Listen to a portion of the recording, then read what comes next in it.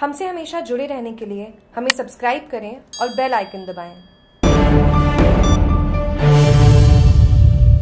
Opinion poll में UP में फिर एक बार भाजपा सरकार टाइम्स नाउ और वीटो के ओपिनियन पोल की माने तो उत्तर प्रदेश विधानसभा चुनाव 2022 में भाजपा गठबंधन की जीत होगी हालाँकि इसकी सीट शेयरिंग पिछले चुनाव के बराबर नहीं होगी।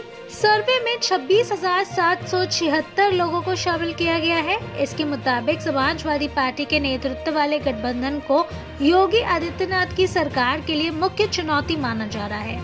और ये लगभग एक से एक विधानसभा सीटों पर जीत हासिल कर सकता है। वहीं मायावती की बहुजन समाज पार्टी इस चुनाव में कहीं नहीं दिख रही। भाजपा और उसके गठबंधन सहयोगियों को लगभग 212 से 231 विधानसभा सीटों पर जीत मिल सकती है। समाजवादी पार्टी के नेतृत्व वाले गठबंधन के एक से एक निवरोचन क्षेत्रों पर कब्जा करने का अनुमान है। बसपा 10 से 16, कांग्रेस 9 से 15, अन्य 2 से 5 पर जीत हासिल कर सकती है। उत्तर प्रदेश का अगला मुख्यमंत्री कौन होना चाहिए?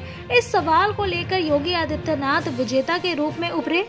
बावन दशमलव तीन लोगों ने फायर ब्रांड भाजपा नेता को वोट दिया। छत्तीस दशमलव दो प्रतिशत प्रतिभागी चाहते हैं कि अखिलेश यादव मुख्यमंत्री बने, जबकि सात दशमलव दो प्रतिशत लोग मायावती और तीन दशमलव चार प्रतिशत प्रतिभागी प्रियंका गांधी वाड्रा को सीएम के तौर पर देखना चाहते हैं। बीजेपी प्लस को अड़तीस दशमलव दस फ़ीसदी एस पी प्लस को चौतीस दशमलव अठहत्तर फ़ीसदी, बसपा को बारह दशमलव सात फ़ीसदी, कांग्रेस को आठ दशमलव छाछठ फ़ीसदी और अन्य को छह दशमलव चालीस फ़ीसदी वोट मिलने की उम्मीद है। बीजेपी प्लस को पश्चिमी यूपी में सैतीस दशमलव दो फ़ीसदी एस पी प्लस को छत्तीस दशमलव दो फ़ीसदी बसपा को तेरह दशमलव दो फ़ीसदी और कांग्रेस को सात दशमलव चार फ़ीसदी वोट मिल सकते हैं।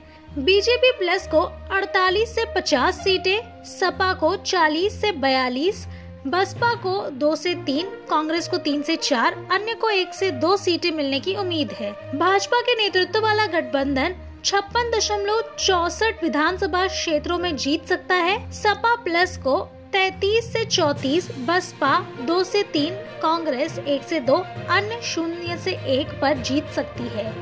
बीजेपी प्लस को चौवालीस दशमलव छह फ़ीसदी एस पी प्लस को तैतीस दशमलव तीन फ़ीसदी बसपा को सात दशमलव नौ फ़ीसदी कांग्रेस को नौ दशमलव चार फ़ीसदी अन्य को चार दशमलव पाँच फ़ीसदी वोट मिलने का अनुमान है। बीजेपी प्लस पश्चिमी यूपी में 48 से 50 विधानसभा क्षेत्र जीत सकती है एसपी प्लस को 40 से 42, बसपा को 2 से 3 और कांग्रेस को 3 से 4 सीटें मिल सकती हैं। बीजेपी प्लस को 48 से बावन विधानसभा सीटें एसपी प्लस 40 से 45 विधानसभा सीटें बसपा 5 से 6 कांग्रेस 2 और अन्य एक से दो सीटें जीतने की उम्मीद है बीजेपी प्लस को 36.5 फ़ीसदी वोट शेयर एसपी प्लस को 35.2 फ़ीसदी, बसपा को 12.9 फ़ीसदी, कांग्रेस को 9.8 फ़ीसदी, अन्य को 5.6 फ़ीसदी वोट मिलने का अनुमान है।